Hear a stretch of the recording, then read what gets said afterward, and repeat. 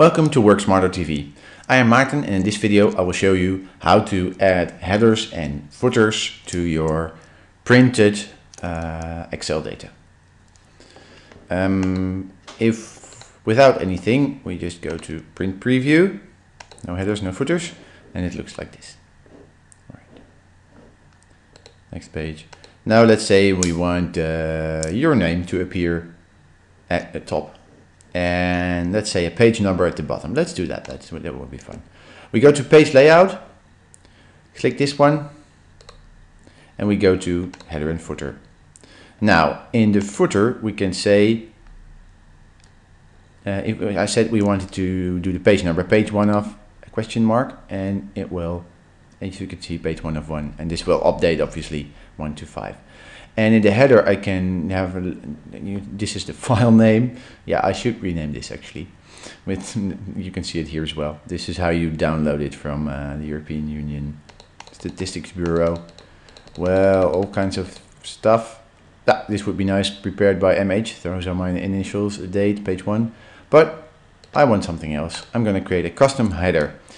Now, in this uh, menu, we have three options. The left section, the center section, the right section. I don't think I have to tell you what those mean. And I can say, okay, I want a picture here in the right section.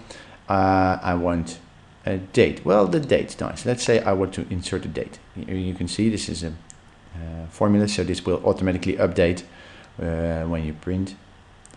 You can insert a page number. but We already have that in the footer, so no need. Insert the number of pages.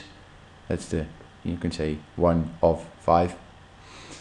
Uh, and I can even insert the time. Yeah, that's nice. And file path, like where is this file located on my computer? That can be quite handy to include. Uh, file name, sheet name. The file name is this horrendous string of digits. Um, the sheet name obviously are is this one, the sheet one, zero, sheet two, but you can make up any fancy names you want and a picture, well, you could insert your company logo. But for now, I'm just gonna just insert here, work smarter, smarter TV. All right, click OK. We click OK again, and we go to, because you don't see, this doesn't change anything in your data. This is just about printing. So I click print preview, and now you can see here we have the date. It's 16, 16 February today, and it's 1036. And here we have the Work Smarter TV. I just typed that in. And this is page 105. And let's see if we can make this a bit bigger. I must be a bit bolder with my brand, don't you think? So we go to custom header and we can, let's see, yeah, here. We can say, I want to have it. Now this suddenly shows up in Dutch. Interesting. Anyway, that is bold and we make it 12 and let's make it blue.